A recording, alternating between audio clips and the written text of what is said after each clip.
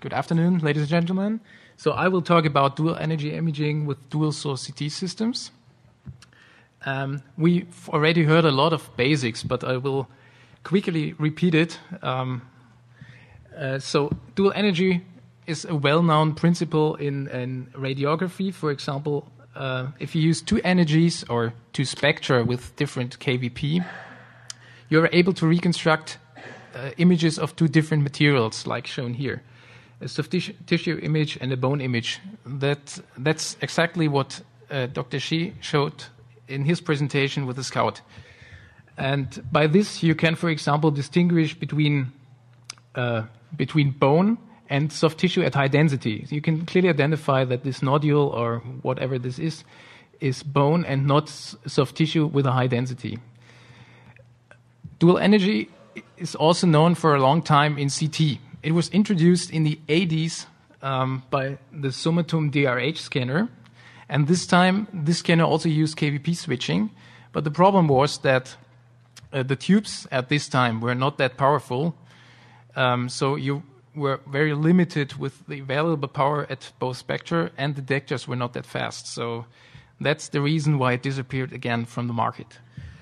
Um, as Dr. Shea uh, explained, using a material decomposition, you're able to select two arbitrary materials, for example, calcium and soft tissue, and reconstruct a soft tissue image and a calcium image, which enables um, quantitative mineral analysis of the bone, for example. I, I, will, as I explained, I will quickly go into the details again.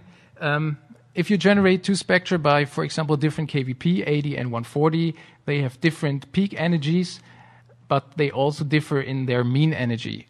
But the problem is, um, although the peak energy is very different, the mean energy doesn't change a lot.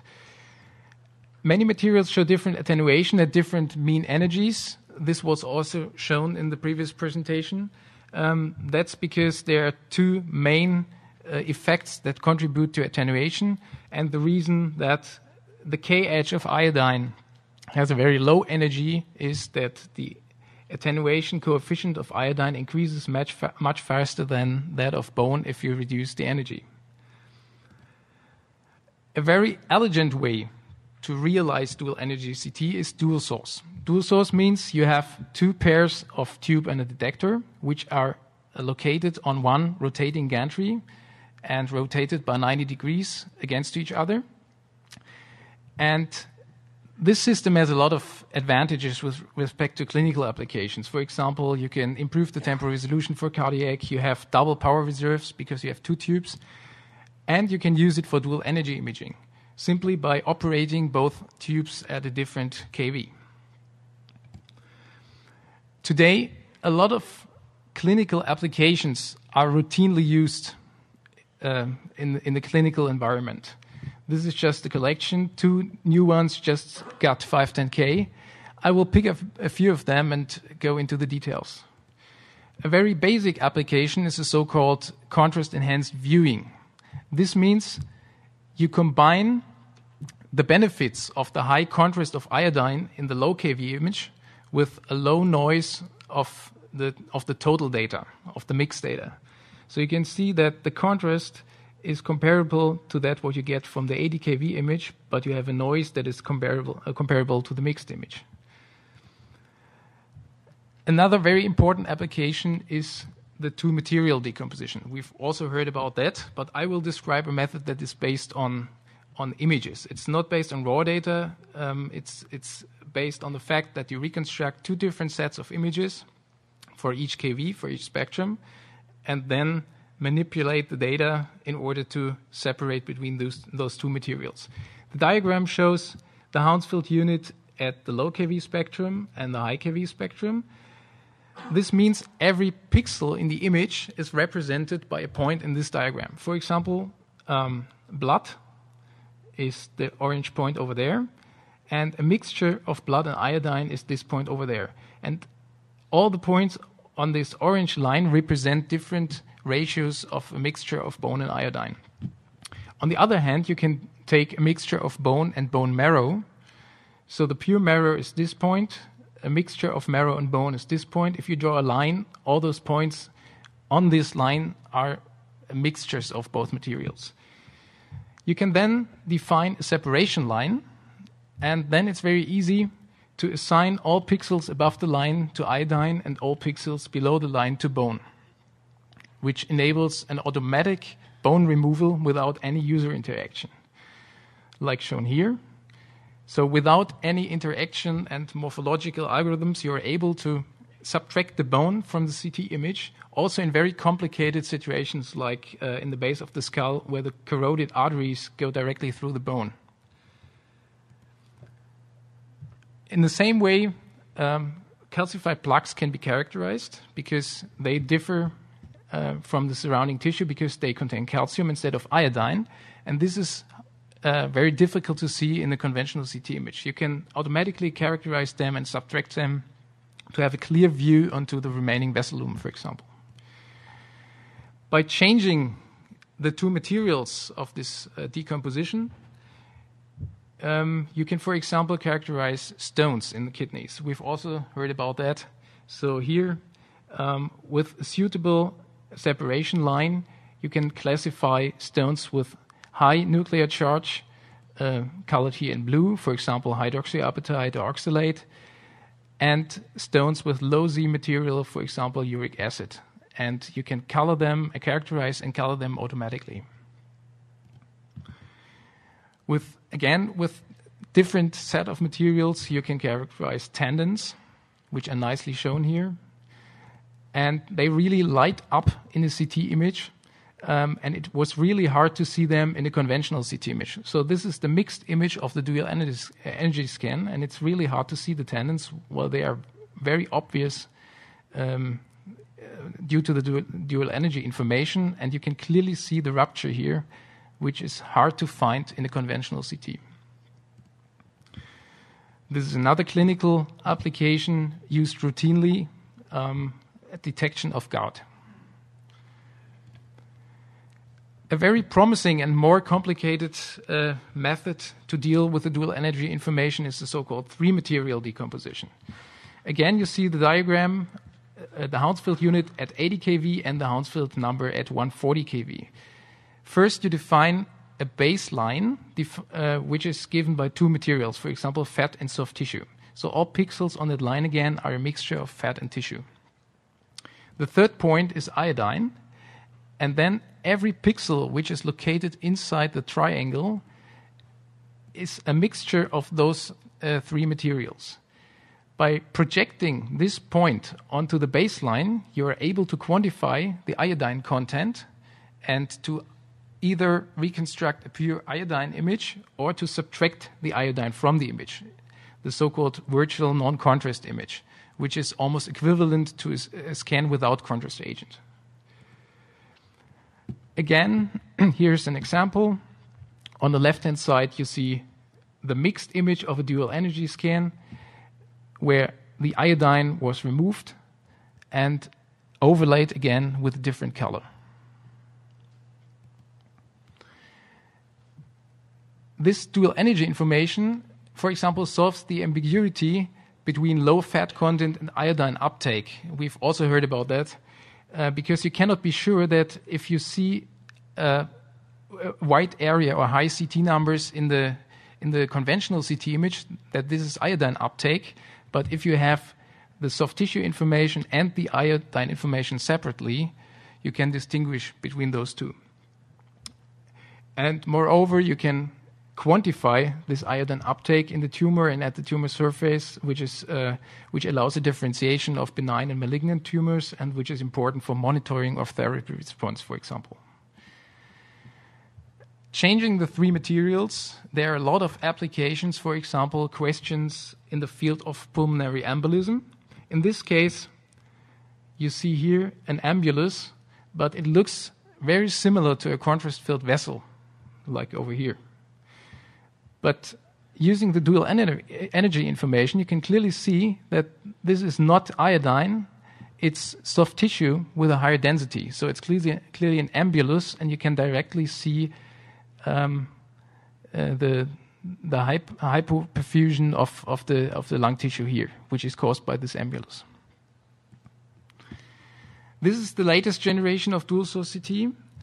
Um, the new system contains two tubes, each with 100 kW. They are now in an angle of 95 degrees. The angle has increased by 5 degrees in order to have more space for the second measurement system.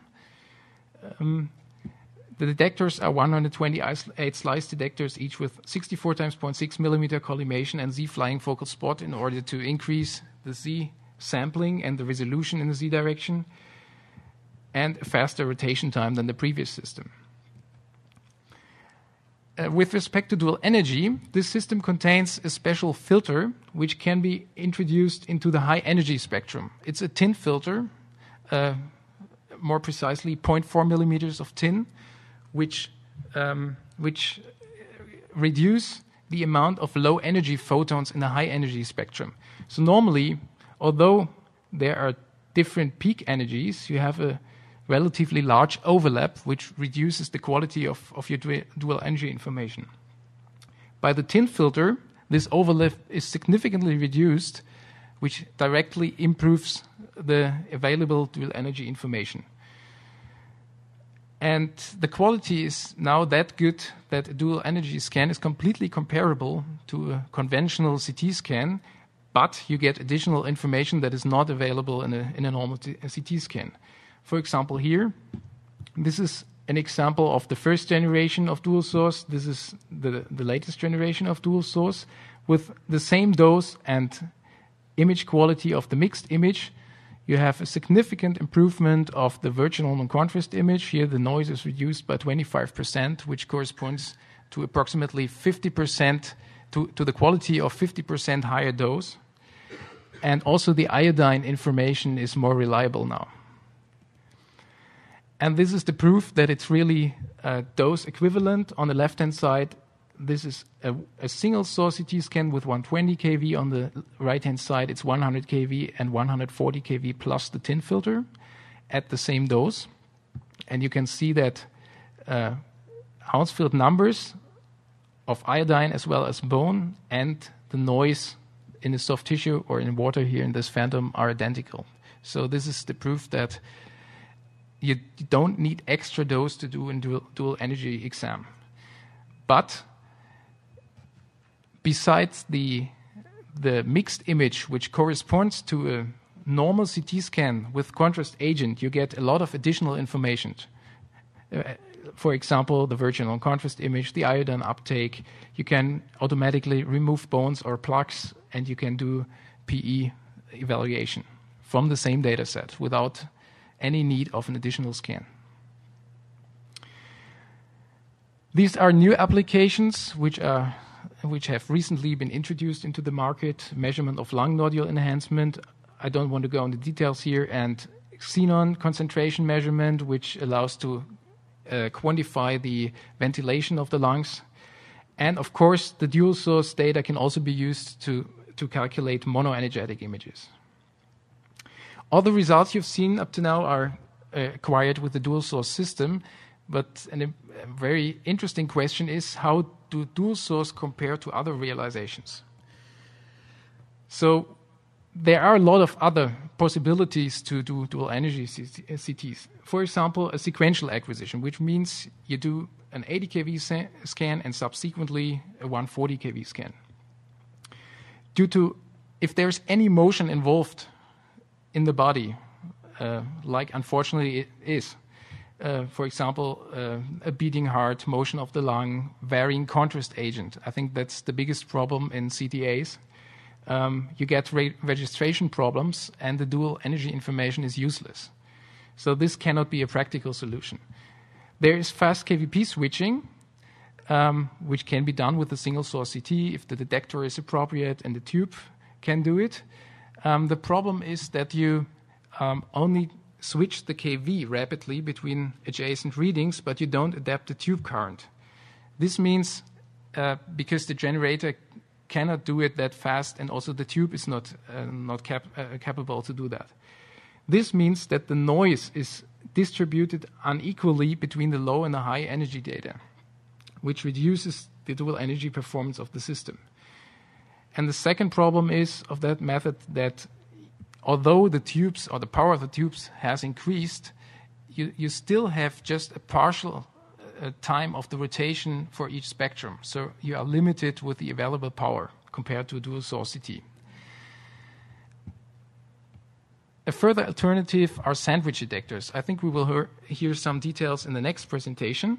Um, the principle is simply that you have two layers, and more of the low energy uh, photons are absorbed in the top layer, and the high energy photons are absorbed in the in the bottom layer. The problem is both spectra have the same peak energy, which means an even higher overlap between those two spectra and the and a worse spectral separation. Um, quantum counting has attracted much attention in the last time. And although it solves a lot of problems or basic, basic problems of conventional detectors, like, for example, electronics noise, um, this principle has some drawbacks. For example, if the flux rate is high, uh, they run into paralysis. If this is compensated for by smaller pixels, for example, um, this will also deteriorate the spectral information because although you're using a threshold, it's not a binary measurement between the low energy bin and the high energy bin. You get an overlap due to um, fl- fluorescence and pileup, for example. Recently, there were some papers on the performance uh, of dual energy. Um, this is an SPI, SPI paper from 2007. Here you can see different methods and the dose that is needed to achieve a certain quality of the dual energy information. So the first one is dual KVP, but with an adapted tube current. This is what I've said before that it's important to distribute the noise equally between those two spectra in order to optimize the, the spectral information. So you can see 80 kV P and 80, uh, 10 milliamps have, have been used here, and 140 kVp and 4 milliamps. So this is in order to equalize the noise.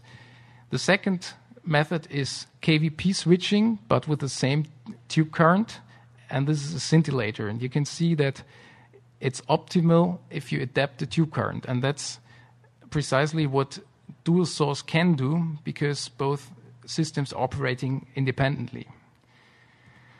There is another very recent paper from the, this, this year's SPIE meeting um, which also compares quantum counting um, to the other methods. Here, the dual energy performance at equal dose is shown, uh, shown. so it's vice versa. The, the higher, the better. And dual energy performance means it's the contrast of uh, iodine versus bone squared by noise squared at equal dose. And all the numbers are normalized to the dual source of the latest generation with tin filter. So that's the one here. And you can see that quantum counting is very good. This simulation or this measurement, I, I, have to say, was done with 250 micron by 250 micrometer pixels, which are relatively small, but which account for the typical flux rate that you have uh, if you do CT with counting detectors. And you see that, well, it's almost comparable for some object sizes, but it deteriorates if the objects get smaller, for example. Um, the blue line is sequential KVP. This was the old generation of dual source, which is somewhere in the middle field, and these are the dual layer approaches. Thank you very much for your attention.